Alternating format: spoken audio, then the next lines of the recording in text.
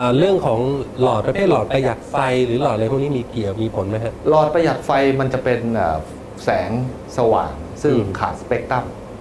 อือฮึครับมันจะไม่เหมือนกับไฟหลอดไส้อืมไฟหลอดไส้เนี่ยเวลาถ้าเรามองดูดีๆเนี่ยเราก็จะเห็นว่ามัน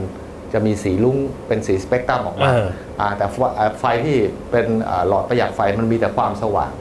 ซึ่งเขาจะบอกว่าไอเนี้ยโดยปกติแล้วมันจะร้อนน้อยมากอืมไอความร้อนที่ร้อนน้อยเนี่ยคือไม่ไม่มีพลังอืม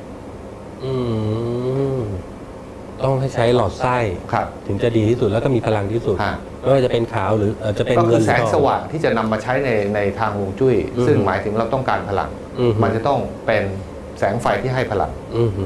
ซึ่งมันก็สามารถแก้ไขได้ มันก็ต้องลงทุนเพิ่มอีกหน่อยอือฮึอาโดยการที่เอาอ่าลูกแก้วคริสตัลลูกแก้วที่เป็นเหลี่ยมเหลี่ยมเหลี่ยมๆอ่าไม่จำเป็นต้องเป็นชวาลอฟสกี้นะอ่าเป็นอย่างอื่นก็ได้ อืมอ่ามันก็จะ เปล่งนะเปล่งเรนโบว์อ่าสีลุ้งจะคล้าย ๆ แบบนี้นะอ่าฮะเนี่ยมันก็จะออกเป็นประกายอืมซึ่งเมื่อมันได้รับแสงอ่าแอบสอบเข้าไปมันดูดซับเข้าไป ในขณะเดียวกันมันก็จะกระจายออกมาอืมซึ่งมันก็จะทำให้เกิดความแวววาวไอ้ความแวววาวตรงเนี้ยคือพลังพลังสีลุ้งหรือพลังเจ็ดสีความแวววาวพวกนี้ต้องใช้เยอะขนาดไหนฮะอย่างเช่นสมมุติอะผมมีหน้าบ้านผมจะต้องต้องห้อยลูกแก้วหรืออะไรพวกนี้เยอะไหมฮะก็โคมระดวงก็พออืมฮึครับ